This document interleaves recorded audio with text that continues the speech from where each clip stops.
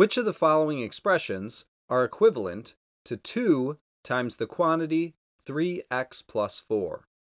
So notice in the question it says expressions, which means there could be more than one answer. So when I look at this question, I first want to focus in on the original expression. And in that original expression, I notice that there are parentheses, which means that I can simplify this expression using the distributive property. First, we want to draw the arrows so we know to multiply that outside number by both of the terms inside the parentheses. Then we can just follow those arrows.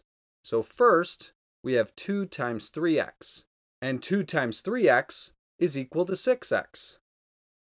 Then we can bring down that plus sign and follow that second arrow. 2 times 4 is equal to 8. So the final simplified expression will be 6x plus 8.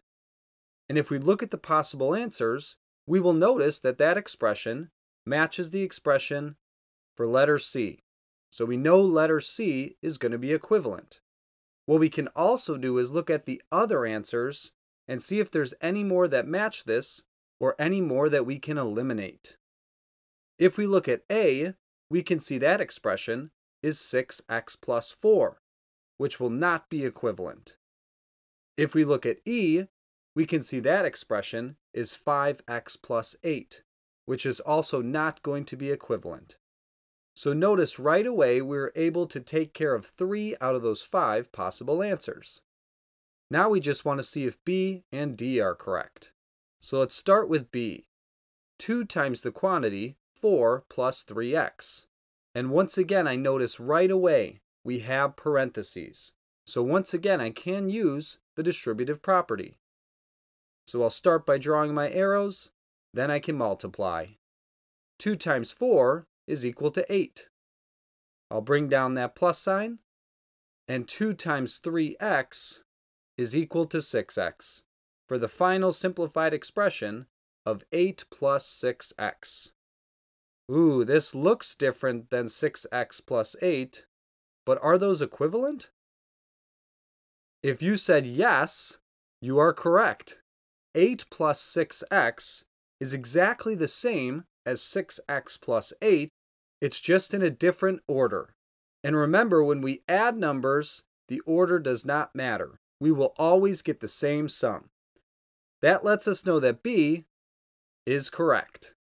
And now the last possible answer is 3x plus 4 plus 3x plus 4. So let's take a look at this one. And right away I think to myself, there are a lot of terms. Are there any like terms that I can combine to simplify this expression? Well, remember, like terms are terms that either have the same variable or no variable at all. So if we look at this expression, we can notice there are like terms.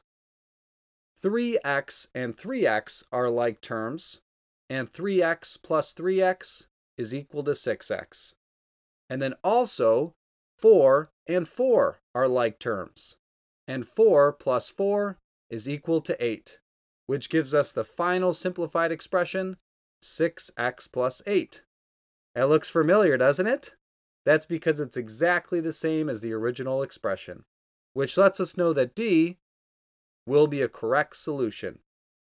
So out of those five options, B, C, and D were equivalent to the original expression. Now I have a problem I want you to try. Which of the following expressions are equivalent to 4 times the quantity 5x plus 6? I would recommend you pause the video now, solve, and then resume when you're ready to see if your solutions are correct.